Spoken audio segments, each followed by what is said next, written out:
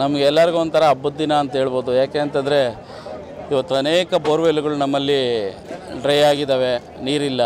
ಇಂಥ ಒಂದು ಸಮಯದಲ್ಲಿ ಇವತ್ತು ಕಾವೇರಿ ನೀರೇನಿದೆ, ನಮ್ಮ ಈ ಭಾಗದಲ್ಲಿ ನಮ್ಮ ಜನಪ್ರಿಯ ನಾಯಕರಾದಂಥ ಸನ್ಮಾನ್ಯ ಡಿ ಕೆ ಸುರೇಶಣ್ಣವರು ನಮಗೆ ಎಂ ಪಿ ಆಗಿ ಬಂದಮೇಲೆ ನಾವು ನೀರಿನ ಸಮಸ್ಯೆ ಸುಮಾರು ಬೋರ್ವೆಲ್ಸ್ ಅವರು ಹಾಕ್ಕೊಟ್ಟಿದ್ದಾರೆ, ಎಲ್ಲ ಬೋರ್ವೆಲ್ಸ್ ದುಡ್ಡು ಕೊಟ್ಟು. ನಾವು ಹಾಕಿದ್ವಿ, ಪ್ರಯೋಜನ ಆಗ್ತಾ ಇರಲಿಲ್ಲ.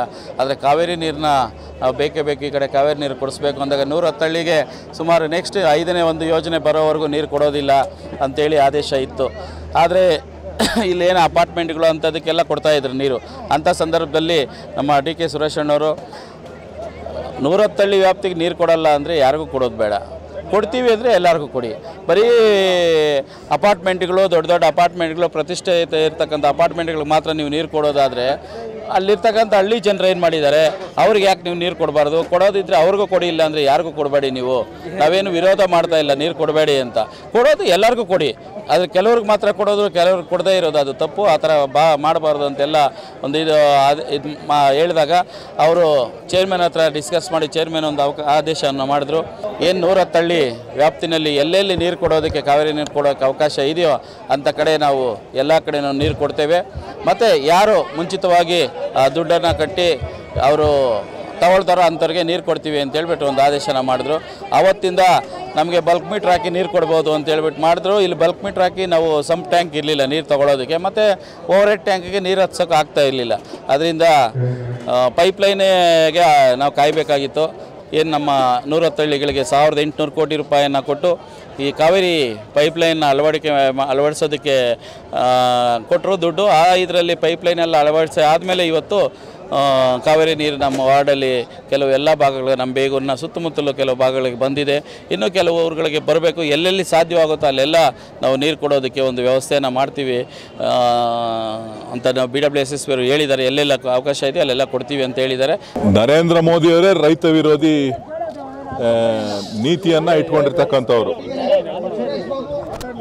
ರೈತ ವಿರೋಧಿ ಸರ್ಕಾರ ಯಾವ್ದಾರ ಇತ್ತು ಈ ದೇಶದಲ್ಲಿ ಅಂತ ಅಂದರೆ ಅದು ನರೇಂದ್ರ ಮೋದಿಯವರು ಕಳೆದ ಐದು ವರ್ಷಗಳಲ್ಲಿ ಒಂದು ದಿನ ಕೂಡ ರೈತರ ಬಗ್ಗೆ, ರೈತರ ಆತ್ಮಹತ್ಯೆ ಬಗ್ಗೆ, ಬರಗಾಲದಲ್ಲಿ ಆಗ್ತಾ ಇದ್ದಂತಕ್ಕಂಥ ಅನಾಹುತದ ಬಗ್ಗೆ, ಅತಿವೃಷ್ಟಿ ಅನಾವೃಷ್ಟಿ ಆದಂಥ ಸಂದರ್ಭದಲ್ಲಿ ಇಡೀ ರೈತ ಸಮುದಾಯಕ್ಕೆ ಯಾವತ್ತೂ ಕೂಡ ಬಾಯಿ ತೆಗೆದೇ ಇದ್ದವರು, ಚುನಾವಣಾ ಸಂದರ್ಭದಲ್ಲಿ ಎರಡು ಸಾವಿರ ರೂಪಾಯಿ ಹಣ ಕೊಟ್ಟು ಓಟ್ ಹಾಕ್ಸ್ಕೊಳ್ಳಿಕ್ಕೆ ಪರೋಕ್ಷವಾಗಿ ಮತಕ್ಕೆ ಹಣ ಪಡಿ, ಕೊಡ್ತಕ್ಕಂಥ ಒಂದು ವ್ಯವಸ್ಥೆಯನ್ನು ಇವತ್ತು ಪ್ರಧಾನಮಂತ್ರಿಗಳು ನಾಂದಿ ಆಡಿದ್ದಾರೆ ಬಹುಶಃ ಈ ದೇಶದ ಜನ ಖಂಡಿತ ಅವರನ್ನು ಕ್ಷಮಿಸೋದಿಲ್ಲ.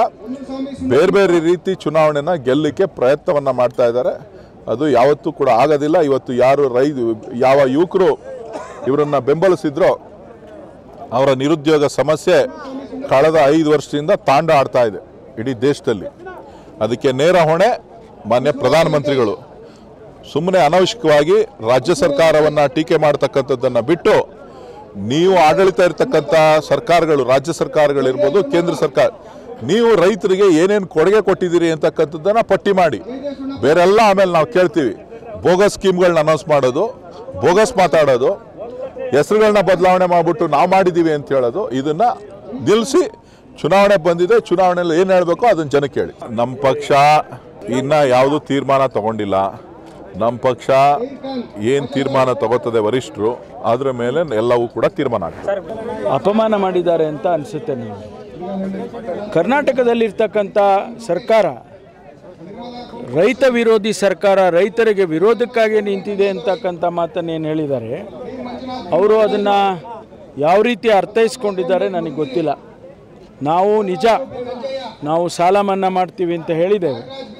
ಆದರೆ ನಿಮಗೆ ನಾವು ಸಾಲ ಮನ್ನಾ ಮಾಡಿ ಅಂತೇಳಿ ಕಳೆದ ವರ್ಷಗಳಿಂದ ನಾವು ಬಂದು ನಿಮಗೆ ಬೇಡಿಕೆ ಇಟ್ವಲ್ಲ, ನೀವು ಯಾಕೆ ಸಾಲ ಮನ್ನಾ ಮಾಡಲಿಲ್ಲ?